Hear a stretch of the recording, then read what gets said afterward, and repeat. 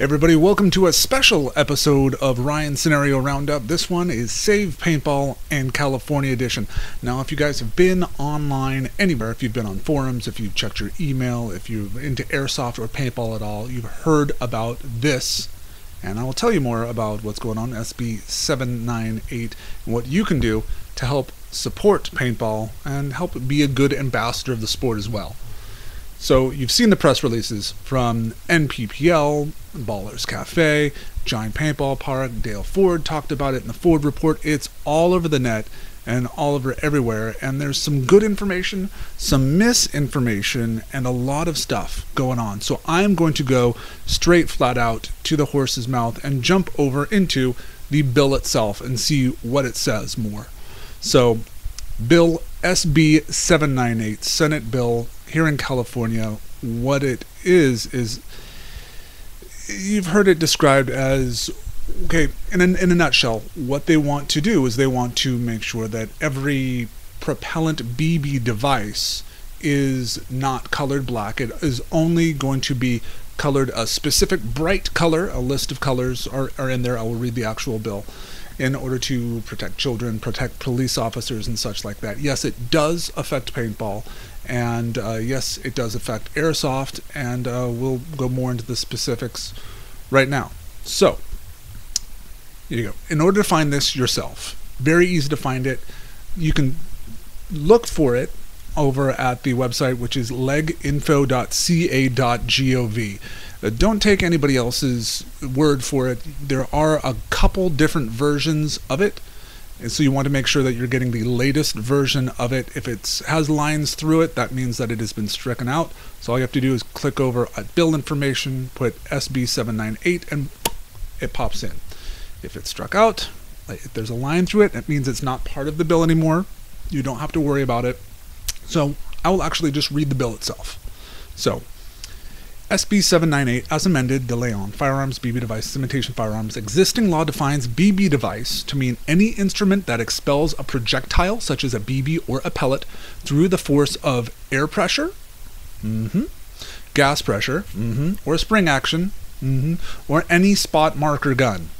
So if there's some way that we can shoot paint out of a marker without using gas, springs, or anything else, that would apply as well. Existing law defines imitation firearm to mean any BB device, toy, gun, replica of a firearm, or other device that is so substantially similar in coloration and overall appearance to an existing firearm as to lead a reasonable person to perceive that the device is a firearm, but provides that a BB device is not imitation firearm in regard to a provision imposing a civil fine on the sale, manufacture, transportation, receipt, or distribution of imitation firearms for commercial purposes. What this means and was added is that possession of this doesn't mean that you have a fine for possessing an imitation firearm. It's not illegal to own one, which is good. There's some more stuff that was stricken out. Don't even read it, it doesn't exist anymore. This bill would make the provision imposing a civil fine on the sale, manufacture, transportation, receipt, or distribution of imitation firearms for commercial purposes applicable to BB devices. So, going into the actual bits and pieces of it, goes into penal code is amended to read as used in the part, imitation firearm, may mean the device, toy, replica of firearm, other device that is so substantially similar to coloration, overall appearance to existing firearms to lead reasonable person to perceive that the device is a, is a firearm. And Section 268, imitation firearm does not include any of the following a non firing collector's replica that is historically significant and is offered for sale in conjunction with a wall plaque or presentation case. So all you have to do is just take your paintball marker and then attach it to a wall plaque and put a certificate of authenticity on it, and you're good to go, right? No, not so much. Two, struck out, three, struck out. Two, a device where the entire exterior surface of the device is white, bright red, bright orange, bright yellow, bright green, bright blue, bright pink, or bright purple, either singly or as the predominant color in combination with other colors in any pattern. That, I think, my friends, is a loophole that we might be able to talk about later. As provided by the federal regulations governing imitation firearms. I haven't been able to find out what the federal regulations governing imitation firearms is yet. I'm digging more into it. If you have some information on that, please let me know. Info at pblive.tv. Or where the entire device is constructed or transparent or translucent materials, which permits unmistakable observations of the device's complete contents as provided by federal regulations governing imitation firearms. The other is, is struck out. That is the whole darned thing. Boom. It's just adding these bits, where it is going to mean that an imitation firearm is something that a reasonable person thinks that it is in fact a firearm. It doesn't, if you are a collector, don't worry about it, that's fine. It has to be these different colors, either as a predominant color in combination with the other colors or completely see through. So, why? Why did he choose to do this? So, if you go more into the page on SB 798, there's some great information there. You can see who voted for it, who voted against it, some of the arguments for and against, like these right here. So, here it is. Uh, one of the other things that we can talk about here is what they have down as fiscal effect. Appropriation, no. Fiscal commerce, no. Local, no. Which means that it won't cost any money to push this bill forward, but we can make the case that it will have an impact on local economies and state economies due to the sports of paintball and uh, airsoft and other such BB related sports. In support of this bill, Los Angeles Chief of Police, Los Angeles Mayor Antonio Villaraigosa, Women Against Gun Violence. In opposition was the National Rifle Association, California Association of Firearm Retailers, and National Shooting Sports Foundation. So, the argument in support of this bill. According to the author's office, SB 798 was introduced at the request of Los Angeles Police Chief Charlie Beck to protect Californians, especially law enforcement officers, from the threat and dangers caused by fake firearms such as BB guns. The accidental shooting of residents, especially minors and young adults, by law enforcement officers and others is a public safety problem. This problem must be addressed as these fake guns are often indistinguishable from real guns, and the legislature must act swiftly in order to protect the lives of the public and the brave men and women of law enforcement. SB 79 will amend Penal Code 16700 to require BB guns to be included in the laws and regulations set forth for imitation firearms. The incorporation of BB guns in the laws that governs firearms will help to make these fake guns distinguishable from real guns and reduce the proliferation of these fake guns into our communities. That is the scary part right there. And reduce the proliferation of these fake guns into our communities. Stop giving kids access to paintball and airsoft. Under existing law, any person who changes, alters, removes, or obliterates any coloration or markings that are required by any applicable state or federal law or regulation is guilty of a misdemeanor. Additionally, the Penal Code regulates the selling, distribution, manufacturing, transportation of imitation firearms and only provides exemptions for interstate commerce or foreign trade, motion picture and theatrical performances, sporting and ceremonial activities. Given the strict restrictions placed upon imitation firearms, BB guns should also adhere to these restrictions because, similar to imitation firearms, they elicit the same threats and dangers as real guns. Sticking point, which they will bring up in the opposition right here. Opposition National Shooting Sports Foundation Inc. states in 2004, legislation SB 1858 done imitation firearms was carefully crafted by a working group comprised of industry, the Department of Justice, and law enforcement representatives. It was clear from the outset that all parties wanted to create legislation that would respond to an identified specific problem while recognizing, preserving, and protecting the legitimate ceremonial, theatrical, recreational, and sporting uses of these imitation firearms and BB devices throughout California. Specifically, the identified problem was confusion created by among law enforcement officers by some imitation firearm products which, because of their unique coloration and features, were not easily distinguishable from BB devices or real firearms. This confusion, it was feared, could lead to an accidental shooting of a child or other person when an officer responds in the field, which happened, unfortunately, in 2010, which also is one of the main impetus and driving forces behind this bill here. We'll talk more about that in the senator's page later. Term imitation firearms includes BB devices, but is also includes products like toy guns that do not fire projectiles, which have potential to cause injury. While BB devices are not firearms, they do propel projectiles that can result in injury if the BB device is improperly used. They are not toys. On the side of your markers, it says not a toy. They're not toys and should not be treated as such. In recognition of the above, BB device manufacturers include warnings with their products that they are not toys and that their improper use can result in injury. If it is required by statute to color them like toys, as proposed in SB 798, a dangerous risk of injury will be created because users could view them as toys and treat them accordingly. In fact, SB 798 could unintentionally promote the use of BB devices as if they are toys. That is what we should really be talking about when we're trying to make our case for and against SB 798, where if you treat them like toys, kids are going to treat them like toys. Instead of trying to make it illegal for us to have them, you should help us teach and establish an ongoing program with the community, with people who don't know what paintball and airsoft are, so that people will understand and respect these imitation firearm marking guns. So, who do you contact? How do you get more information on this? The unofficial ballot, more information, look at this, at your fingertips, has the people who voted aye right here.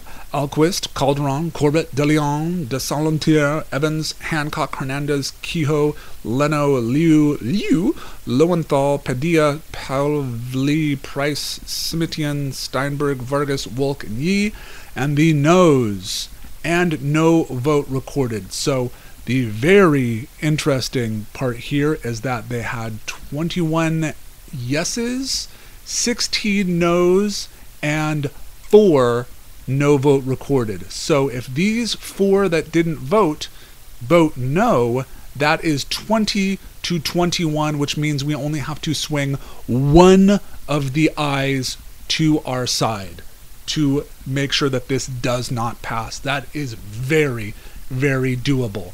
What you need to do is go to the people who voted no.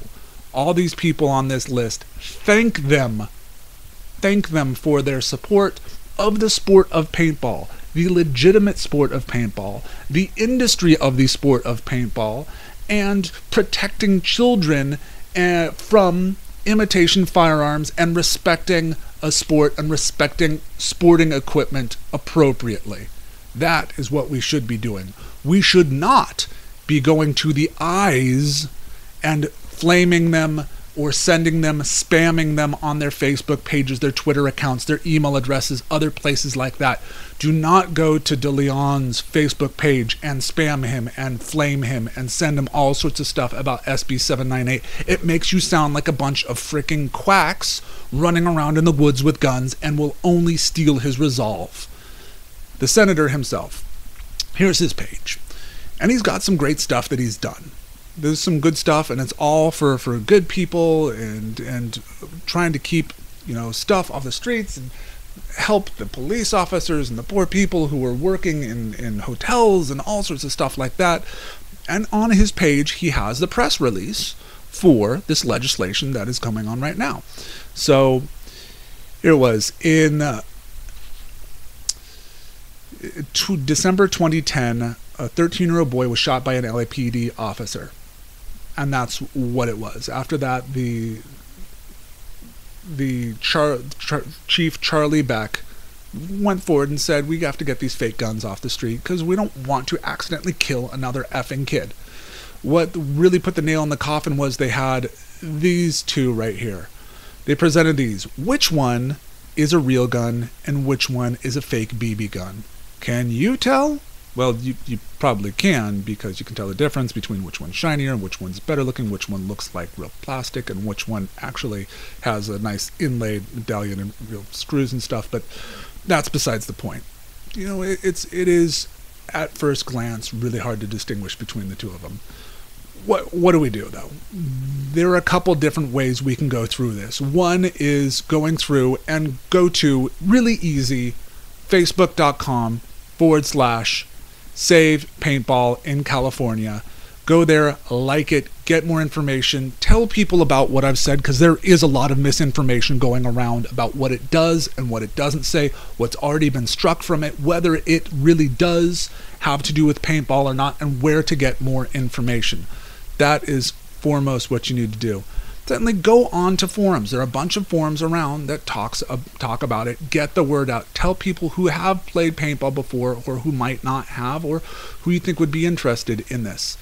The loopholes that we found that I've found looking through this, which I've talked about before, is this one vote separation. If we can move one person from the aye to a nay, that would all, all that would do it right there. The the the second one is what I said, really promoting paintball as a true sport and how this would endanger children if it was passed unintentionally and the fiscal problem that it would have for the sport of paintball in California, a burgeoning true sport itself. And then also, the other part of it is trying to find the loopholes in it itself. I, I joked about the nine firing collector's replica, yes. But the predominant color in combination with other colors in any pattern, that is where we can get around some of this. Remember in 2001 when Spyders were all the rage and everybody had markers that were anodized? Yeah, autocockers were like the shit. And they look like this. This, I'm guessing, I don't know because I haven't found the real statute for, for it, would guess this would be okay. That is bright red. That is the predominant color. This is bright purple. That's a predominant color as well. There you go. Your your ego, I think, is okay just as long as you bring out one of the obnoxious poison or whatever colors. You are okay in that. Yeah, see? Your little pink wait a second. Oh, you mean this isn't a paintball marker? This is oh, that this is actually a real handgun. That's weird. You mean only paintball markers and airsoft guns aren't the only things that are bright colors? You mean that someone could actually buy an effing AR 15 and trick it out to look like a frickin' Hello Kitty gun? Yes, this is a real functioning AR 15. Now, if I pulled that out or I pulled out, I don't know, a, another regular marker, an SP8 or something like that, which one would you guess is the paintball marker and which one would you guess is the real effing gun? So, that, in a nutshell, proves, makes their point moot. You could own this gun here. Here in California, an AR-15. You modify a few things, you change the bolt, you, you you change some stuff around. All you have to do is go on a couple different websites, Calguns and other places, and they'll tell you what you need to do to get around the stupid laws we have here in California because they're stupid and it just it doesn't work.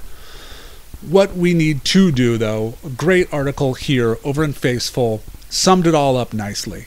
At the end, said, We here at Faceful respect publicly elected officials as well as law enforcement agents, police officers, and military personnel and realize that the process of law requires many people to speak out, stand up, and express themselves diligently without the context of defamation or violence. Keep what you're saying polite. Prove to them that we are a real sport. Another thing was great here over at Ballers Cafe at the very end, there is a lot of stuff that you can do what to do and what not to do. What they said in the what not to do is great. What not to do. It is important that we conduct ourselves in a professional manner as we deal with this issue. This is why we have gone to great lengths to create a form letter for all parties which everyone can use. Our message must be clear and concise if it is to be effective. We are portraying paintball as a recreational game and sport in order to make sure we have a strong position that the political system can stand behind. Don't go flaming, don't go screaming. It only makes us look stupid and only strengthens the people going against us. Go over to Ballers Cafe, go to the Facebook page, download the letter template, go join other people, go knock on doors, go tell everybody what's going on and and help out the sport of paintball because it's only up to us. I mean, we are a burgeoning sport. No one else is going to listen to us and don't take for granted that it's always going to be there. You know, if we don't stand up, there're going to be enough people is it like the if we don't do anything, they they will win. And so don't be stupid. Don't be a holes. Now's the time to come together with our friends over in the sport of airsoft and all these other places. Get online, join the Facebook page. Tell me if you find any more information. Let's get this stuff together and let's shoot this stupid frickin' bill down. Do something. Go there now.